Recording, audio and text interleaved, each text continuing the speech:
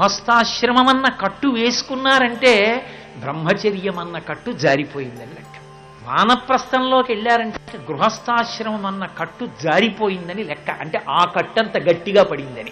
అందుకే కృతకంగా వెళ్ళడం కాదు కట్టు గట్టిపడి వెళ్ళాలి. దానికి సాధన వనభోజనం. అందుకే వనభోజనానికి వెళ్ళేవాడు అంత పవిత్ర హృదయంతో వెడతారు వెళ్ళి ఏ ప్రకృతి ఎందు ఉపద్రవం ఉందో ఆ ప్రకృతినే ఆశ్రయించి ఆరోగ్యాన్ని సిద్ధింప చేసుకుంటాడు చక్కగా ఎక్కడ ఉసిరి చెట్లున్నాయో ఎక్కడ తులసీవనం ఉందో ఎక్కడ మామిడి చెట్లున్నాయో అక్కడికి ఎడతాడు.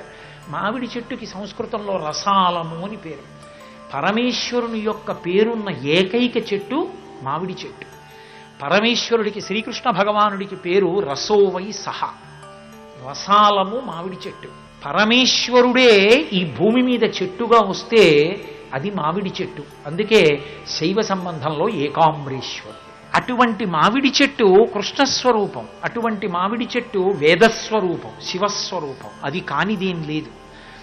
అటువంటి మామిడి చెట్టు ఉసిరి చెట్టు తులసి బృందావనం ఇటువంటివన్నీ ఎక్కడున్నాయో అటువంటి వనంలోకి ప్రవేశిస్తారు. ప్రవేశించిన దగ్గర నుంచి కూడా లౌకికమైనటువంటి కోరికలతో వెళ్ళమని కాదు. అక్కడికి వెళ్ళినప్పుడు మనసు అత్యంత పవిత్రం చేసుకుని అరమరికలు లేకుండా అంతటా బ్రహ్మమును దర్శిస్తూ వెడతారు. అందుకే మనసు అంత ప్రహృష్టంగా ఉంచుకుని వెళ్ళమని. వెళ్ళి చక్కగా అక్కడ ఏ సత్యనారాయణ స్వామి వారి వ్రతమో ఏదో ఒక వ్రతం ఒక దంపతులు చేస్తారు. వ్రతం అన్నది ఎలాంటిదంటే మీరు సాగదీస్తే ఎంతైనా సాగుతుంది. మీరు కుదించేస్తే ఎంతైనా కుదించుకుంటుంది. మీకు ఉత్సాహం ఉందనుకోండి పొద్దున్న మొదలుపెట్టి ఆవాహయామి స్థాపయామి పూజయామి అయిపోగానే పుష్పార్చన మొదలుపెట్టి విష్ణు సహస్రం శివ సహస్రం లక్ష్మీ సహస్రం లలితా సహస్రం ఇన్ని చెప్తూ చేస్తూనే ఉండొచ్చు సాయంకాలం వరకు. సాయంకాలం పొద్దు పొడిచిన తర్వాత అప్పుడు మీరు మహానైవేద్యం పెట్టి అప్పుడు భోజనం చేయొచ్చు. ఎందుకెడతారు? వనభోజనానికంటే భోజనానికంటే వనమును భోజనము చేయుట అంటే వనం అంటే బ్రహ్మం బ్రహ్మమును తినుట. బ్రహ్మమును తినుట అంటే అంతటా బ్రహ్మమును అనుభవించుట. మీరు అరణ్యంలోకి వెళ్ళినప్పుడు కూడా అంతటా బ్రహ్మమును చూస్తూ ఇంటికన్నా అక్కడ బాగుందన్న భావనోటి మీకు వస్తుందా అలా ఉండడం అలవాటు చేసుకోవడం ప్రారంభం అవుతుందా వనభోజనమునందు ప్రధానమైన సిద్ధాంతం అది అందుకే అరమరికలు లేకుండా కలిసిపోతారు. అసలు ఈ లోకంలో వనభోజనం అనేటటువంటిది చేయడంలో నిష్ణాతుడై చేసినవాడు చేయించినవాడు ఎవరో తెలుసా? అసలు ఎవరూ మర్చిపోలేనంత గొప్ప వనభోజనం చేసినవాడు శ్రీకృష్ణ పరమాత్మ. భాగవతంలో చేశాడు ఆయన.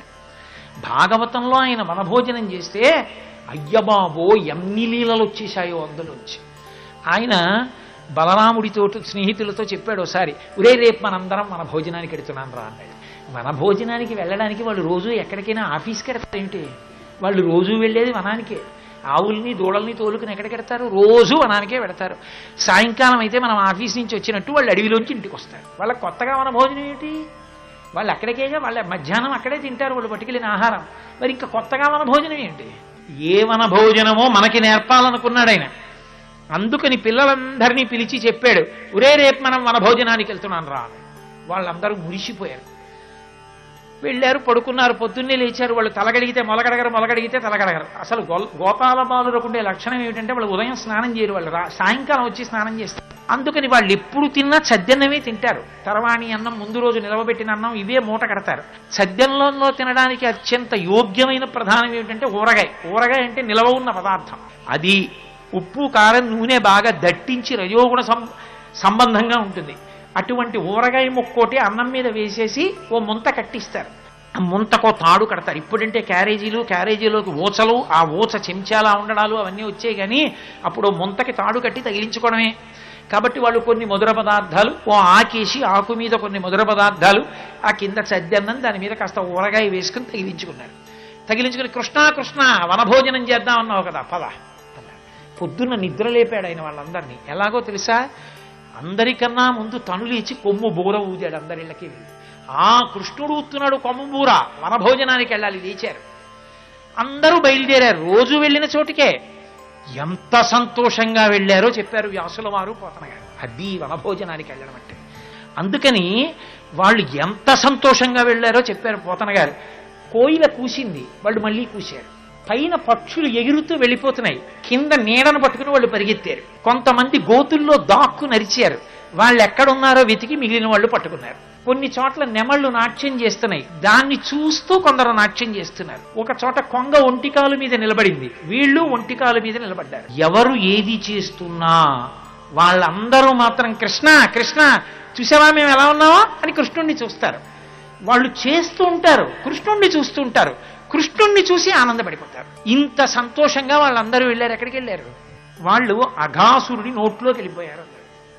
అఘాసురుడు అంటే తెలుగులో పోతన గారు యథాతథంగా దాన్ని పాపపు రక్కసుడు అని పిలిచారు. ఎంత అందంగా పిలిచారు.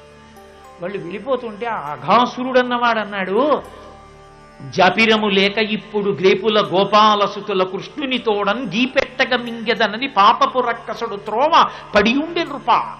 ఆ పాపపు రక్కసుడు పడుకున్నాడు. పాపం ఎప్పుడెప్పుడు మనని గ్రసిద్దామా అని చూస్తుంది. మనతో పాపం చేయించి.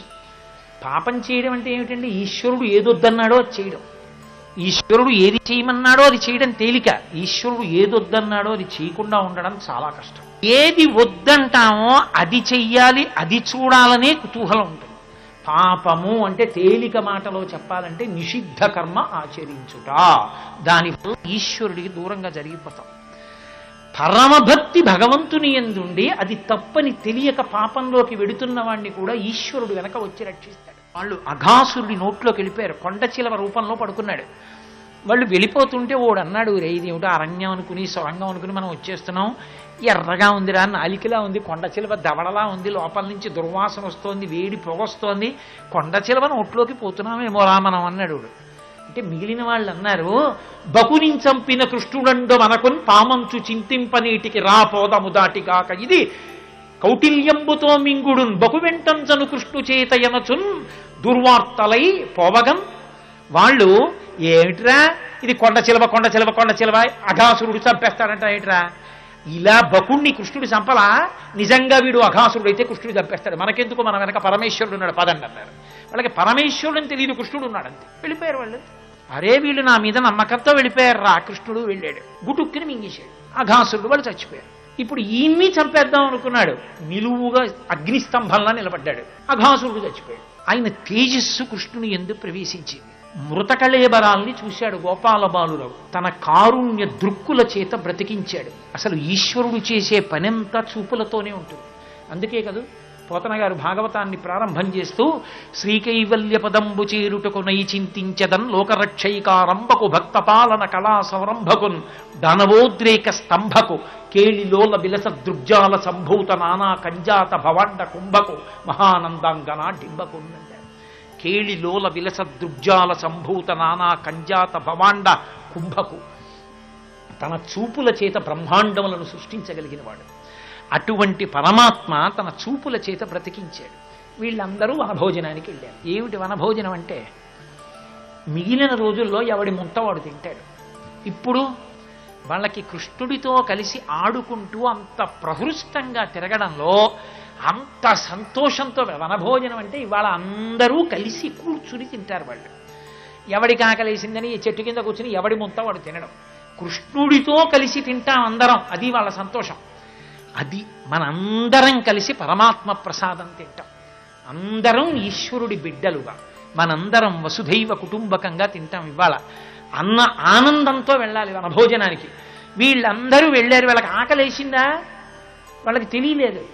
వాళ్ళు మరిచిపోయారు ఆకలి సంగతి. కృష్ణుడితో ఆడుకుంటున్నారు అంతే కృష్ణుడు గమనించాడు వాళ్ళకి ఆకలేస్తుందని. ఆయన అన్నాడు ఒరే మీకు ఆకలేయట్లేదురా ఎండం రగ్గితి రాకటంబడితి ఇంకేలా విలంబింపగా? రెండో బాలకులారచల్ దిగుడువన్ రమ్యస్థలం బిక్కడి దండం లేగలు నీరు త్రాగి ఇరమందం పచ్చికల్ మేయుచున్ దండంబై విహరించుచుండ అమంద ప్రీతి భక్షింతమే.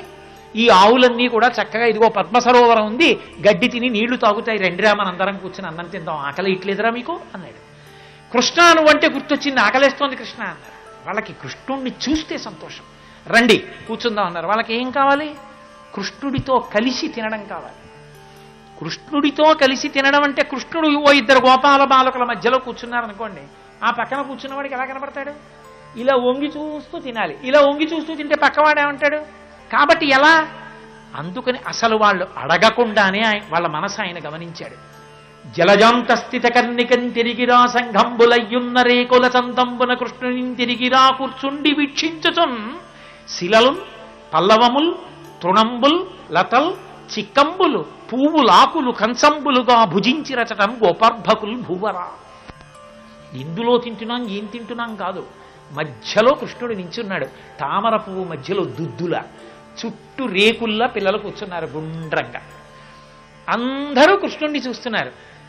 కృష్ణ కృష్ణ ఇదిగో మా ఇంట్లో నువ్వు పిండి ఆవకాయ తెచ్చానయా అన్నాడు. వాడు. ఓడు అన్నాడు కృష్ణ మా ఇంట్లో మాగా ఎంత బాగుంటుందో తెలుసా? రెండేళ్ళ నాటి మాగాయ్ మా నాయనమ్మ పెట్టింది. ఇప్పటికీ ఎంత సువాసనో చూడని వాడు ముక్క నాకాడు. నాకి కృష్ణ పుచ్చుకో అని ఎడంచి ఇసుకలో వేసి ఇలా అందించాడు. పైగా వాళ్ళు తింటున్నది రాళ్ళు పువ్వులు ఆకులు ఇవన్నీ వేసుకు తింటున్నారు. కృష్ణుడు ముప్పై మూడు కోట్ల మంది దేవతలు నిలబడిపోయారండి ఆ వనభోజనానికి. అది వనభోజనం అంటే. రంభాదులు నాట్యం చేశారు అలా చెయ్యాలి వనభోజనం చేస్తే.